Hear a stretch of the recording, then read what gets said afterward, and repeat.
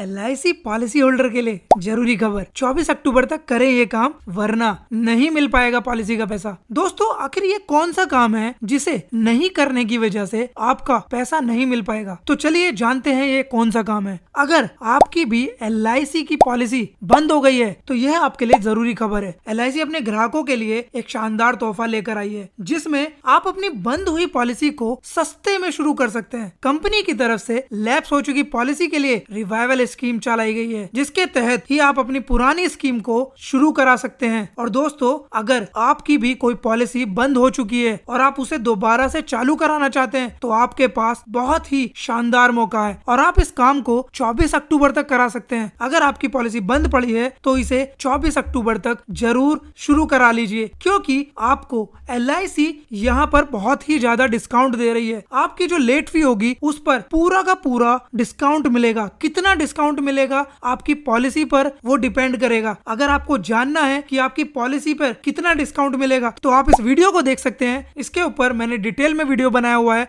कि किसको कितना डिस्काउंट मिलेगा। एलआईसी ने यह डिस्काउंट ऑफ़र ऐसे पॉलिसी धारकों के लिए शुरू किया है जो किसी वजह से प्रीमियम जमा नहीं कर पाए थे, जिसकी वजह से उनकी बीमा पॉलिसी बंद हो गई थी। और दोस्तों हाँ यूलिप प्लान रिवाइव नहीं हो सकते। पॉलिसी होल्डर यूलिप और हाई रिस्क कवर पॉलिसी को छोड़कर अपनी सभी पॉलिसी रिवाइव करा सकता है मतलब चालू करा सकता है। एलआईसी के मुताबिक यूलिप प्लान के अलावा सभी तरह की पॉलिसी को फिर से चालू करने का मौका दिया गया है। लेकिन इसमें भी कुछ शर्तें रखी गई हैं, जैसे वही पॉलिसी फिर से चालू हो पाएगी जिसका प्रीमियम कम से कम पाँच साल पहले जमा किया होगा। मतलब अगर आपकी कोई भी पॉलिसी बंद हो गई है और उसे पाँच साल हो गए हैं तो आप उसे चालू करा सकते हैं, वो भी डिस्काउंट के साथ। तो दोस्तों, देर मत कीजिए, अगर आप अपनी पॉलिसी को रिवाइव कराना चाहते हैं और अपना रिस्क कवर दोबारा से चालू कर रखना चाहते हैं तो आप अपनी पॉलिसी को रिवाइव करा लीजिए। और इसमें आपके क्या क्या डॉक्यूमेंट्स लगेंगे, उसके लिए आप इस वीडियो को देख सकते हैं। तो दोस्तों, जानकारी अच्छी लगी तो वीडियो को लाइक करना और चैनल को सब्सक्राइब करके हमें सपोर्ट करना। धन्यवाद।